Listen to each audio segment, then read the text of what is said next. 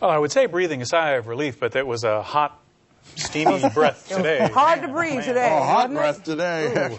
Actually, we had some storms across South Carolina and still some rumbling tonight. Look at Doppler Max 11 radar. This is up by the Augusta area, south of Columbia. See some lightning attached to that. That's the very north edge of our Doppler Max 11 radar. Now, from the perspective of the regional radar, the severe thunderstorm watch has just been canceled across South Carolina, and North Carolina. Heaviest storms, though, continuing here in the Raleigh area. In fact, we had some damage with some of these storms. Hail damage earlier reported in a lot of locations, including the Charlotte area and just uh, north of, of Charleston.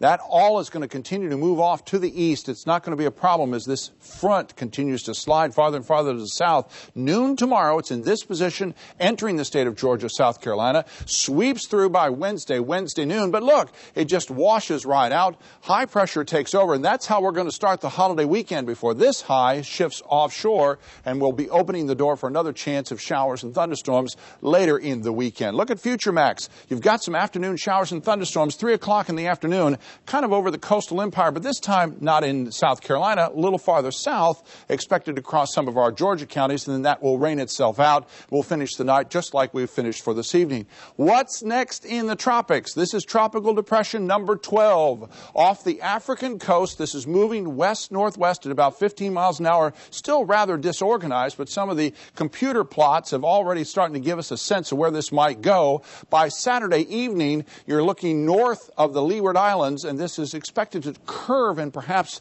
as Pat Prokop likes to call it, will just be a big fish storm, and that would be very nice indeed. 97 was today's high. Yep, it was hot. Just one degree shy of the record. We're almost eight inches now below normal in precipitation. We'd like to see some rain. 83, our current temperature. Winds are calm. Check the relative humidity. It's still very high at 85%. Doppler Max 11 forecast for tonight. Warm and muggy. Watch for patchy fog developing late night as well. Our south winds continuing to diminish. 74 should be our overnight low. We'll see low 70s farther inland. Tomorrow, another partly cloudy to mostly sunny day. A 20% chance of mainly late day showers and thunderstorms. High of 91 with that east breeze a little cooler on the beaches. Heat index still at 98. 74 tomorrow night. 89 Wednesday as that front pushes through, and there's that 20% chance of showers and thunderstorms. 89 for Thursday as well. We start the weekend at 89, but add that chance of afternoon, late day showers and thunderstorms right through the holiday weekend. Upper 80s, around 90,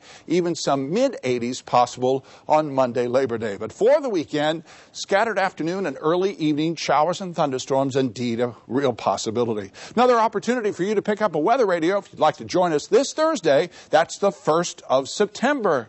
We'll be at the Kroger on Ogeechee Road at Ber- Berwick Plantation, US 17, from 10 a.m. until 7 p.m. The entire WTOC Skytrack weather team will be there, along with many members of our WTOC staff. Come join us. We've got the weather radios. We'll program those for free. Buy them at Kroger. We'll get you some hurricane tabloid information as well. A lot of other good stuff as well. Thanks, John.